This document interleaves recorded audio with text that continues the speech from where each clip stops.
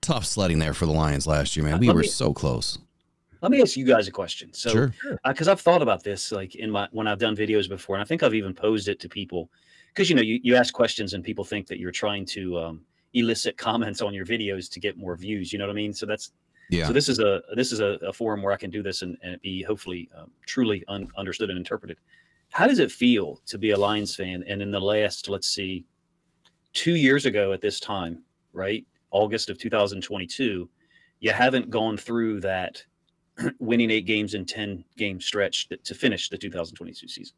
How does it feel to have, you know, 24 months later gone through where now you as a fan base and fans are are criticizing or critiquing, you know, specific little moves to try to, you know, to try to perfect the outcome, I guess, and force an outcome that you want. I mean, I can I'm a Ravens fan, you know, for for 20 years and we've been very blessed to be very good for the most, you know, the vast majority of that. So how does it feel? And then like, do you ever sit back and like appreciate it? Because I hope that you do. I, I hope, you know, I really hope that you do. I, I want that for the people that watch my videos and are gracious enough to, to comment and, and be so kind to me. Yeah, Eric, I'll let you go first because you're the ultimate fan uh, of positivity. Listen, coach, I went to all three playoff games this year. And that first playoff game against the Rams, Jared Goff puts his arms up in the air in the fourth quarter with less than a minute to go, and we win the game. I had tears rolling down my face. 32 years since I'd seen anything like this where we won a friggin' playoff game. And I, we're so hungry for this. We've been waiting for it for so long. So for us to finally turn the corner, it, it's kind of different. It, it's it's unknown territory for us, but we've quickly jumped in the driver's seat, and we don't want to give it up. That's exactly what we don't want to do. We want to we want to go the rest of the way. We want to take the rest of this journey. I want to know what it feels like to win a Super Bowl, and that's going to happen this year. I hope you're right on that. Um, Cake Man says, as a Lions fan, having felt what I felt, it's almost life changing how awesome we are, and it's so beyond fun right now. And I think that that's the key word, uh, Coach. Here is is it's fun. So, 25 year season ticket holder myself. I've been watching the Lions ever since I was four years old when I went to my first game where uh, Billy Sims was in the game uh, that that day. Got to go on the field after the game and you know You're as old as me. yeah, meet a handful. Forty four this year, so meet a handful of uh, of players. You know, I think it was like a, some sort of family fun day that day, but I was four years old. I don't remember any of it. I just saw pictures. So, 2022. Let me, let me let me back up. So 2021 was a mess, but I expected it. I mean, we completely scrapped the entire team, and and bringing in what was probably the absolute worst roster in the NFL already was decimated by cutting 85% of the players that year and starting anew. So I expected to have a big hurdle. I expected, you know, for it to be brutal before it got better.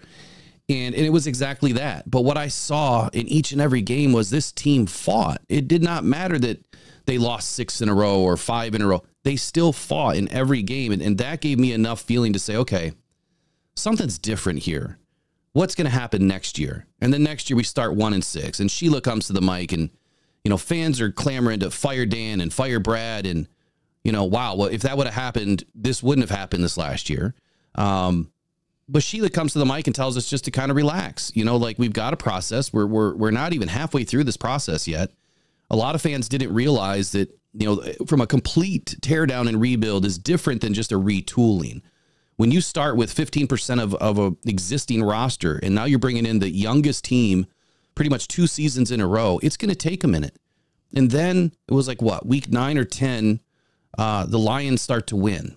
And then they win a couple in a row. And then it's, you know, they win the last eight of 10 games. And it was at that point I'm like, okay, we have something here. These guys are fully bought in. Dan Campbell has obviously affected, you know, this team in, in multiple ways, but not only is Brad Holmes hitting on almost every draft pick, but Dan Campbell and his team are able to coach these guys and develop. And that was the first time I watched players develop from year one to year two, where we're seeing big leaps forward.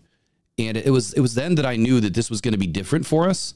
And then of course 2023 happens and I had all the confidence finally in the world that you know we were going to do something, but I still told everybody on this show multiple times that we are half a season ahead of ourselves. We needed the 2024 draft to take that next step because we we didn't have what we needed. We just didn't know what it was going to be yet. But after watching six or seven games, well, I knew the DB room was a problem and interior defensive line needed to get addressed. And that's what I projected was going to happen this season, and it did. Now I feel like we have the tools to get there. We have the coach to get there. We have the right mentors to get there. Uh, each positional group coach is great at what they do. And all of these players have bought in, and it's a different feeling now in Motown and around the city. But to answer, to really answer your question, like, you know, yeah, we are. We're nitpicking now. It's like we went from the the bottom dwellers to now it's it's almost like we're conceited Lions fans because we feel like we should be we should be this good and and man we we better hit on this player and Brad yeah. Holmes better get this guy and we better not lose to this team like we need to temper our expectations a little bit here. It's only been one year, but I get it. We've been suffering for so long. There is no other way to feel right now than positivity. So it's That's a great awesome. it's I, a great feeling, I'm man. Glad. It's resurrected. I'm glad to hear that.